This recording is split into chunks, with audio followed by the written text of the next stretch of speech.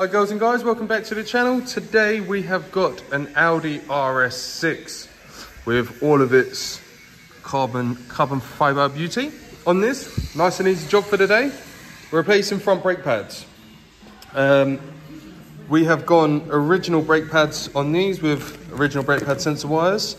The brake pads are a staggering 500 pounds.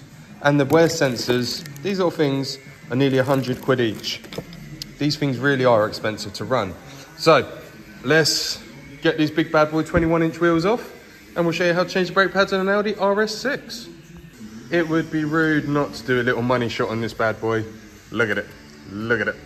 Uh, so what we're gonna do is open the little flap and undo the reservoir cap to not put any excess pressure on the cap and stuff like that when we're pushing the calipers back. I'm gonna get the little cap puller. These are a must with these and we're going to whip out all caps. There's one missing for the locking nut, which is cool. So out these come. The wheel bolts on these are 17 mil. Also, this is a genuine Volkswagen Audi group, and the part number for this particular thing is 8DO, uh, so 8D0012244, A for Alpha, and it's España. Right, here we go. Firstly, these do have a tendency to seize. Someone's put some copper slip on this, but we're going to clean all that up. Now, you got pin number one, pin number two. you will definitely want to apply some lube, but that's how they fit. You got to push this back, push that back, out, out, and there is a, I think that's a 13, but probably an 11 or 12. I don't know. I'll find out in a minute. Uh, we've got to undo that, and that's how we're going to get these back. So, as said, the little bolt that goes in the back, undo that, get the main bit out, tap the two pins through, um, then gently push these back, clean up the mating surface where the pad goes, uh, obviously disconnect the sensor wire, which we've already done. We got these pads, I mean, the sensor was flagging on it, um, so got them in a good time so it doesn't actually cause any problems. You can see it's just cut the sensor there. So excellent timings.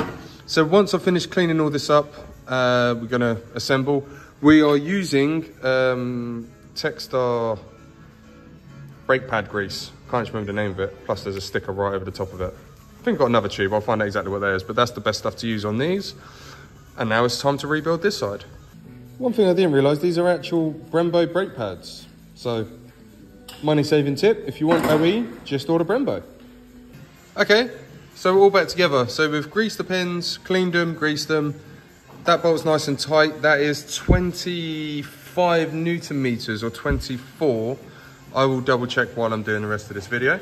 Uh, hub's been cleaned back and some anti-seize on there. Pins are through and on. Wear sensor goes down, round and connects to there. So that side is done. Now we're going to side two.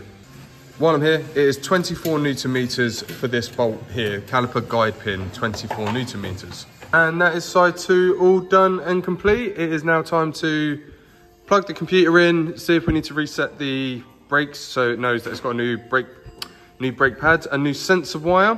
Firstly, we're going to torque the wheels up. Um, once we've got all that done, lower it down and take it from there. Locking wheel nut is back. You lift this up while you remove all six cases of champagne. Lift this up, take the plastic cover up from underneath. Locking wheel nut is under there. That is all done. Now it is literally that good time for diagnostics and then road test. So once you've done the brakes, obviously, as I've always said, pump the brake pedal to make sure you've got a, a solid brake pedal because obviously you push all the calipers back. Now you need to push them forward to make sure you've got brake pressure. And uh, unfortunately, you know, we have to road test the RS6 because um, we need to make sure it's safe. So seatbelts on, let's go for a road test. Well, that was a nice little road test. So this Audi RS6 is done.